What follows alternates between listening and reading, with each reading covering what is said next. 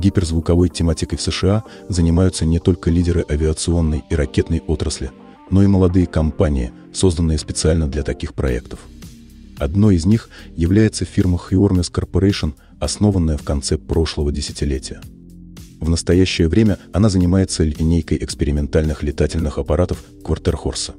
Главной задачей Hiormes Corporation было объявлено создание многоцелевых воздушных платформ с гиперзвуковой скоростью полета, пригодных для применения в военной и гражданской сфере. Понимая уровень своих возможностей и компетенций, в компании решили не начинать с разработки полноценного проекта гиперзвукового летательного аппарата. Сначала решили провести необходимые исследования – Потом на основе их результатов создать экспериментальную технику и лишь после этого переходить к основной задаче. Предварительные исследования завершились в 2022 году, что позволило компании Hiormes перейти к разработке и строительству изделия Квартерхорса МК-0. Этот беспилотник предназначался только для наземных испытаний в виде рулежек и пробежек, что позволило упростить его комплектацию, а также ускорило разработку и сборку. Готовый БПЛ МК-0 представили в октябре 2023 года. Параллельно шла разработка первого летного БПЛ под названием Квартерхорсе МК-1.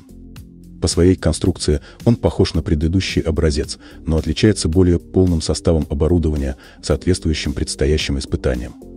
Его сборка завершилась в конце марта, и сейчас скаковая лошадь МК-1 готовится к предварительным испытаниям на Земле, после которых начнутся тестовые полеты. Этот БПЛ, несмотря на характерный экстерьер, является дозвуковым. Его задачей является демонстрация работы бортовых систем, но не достижение высоких скоростей полета.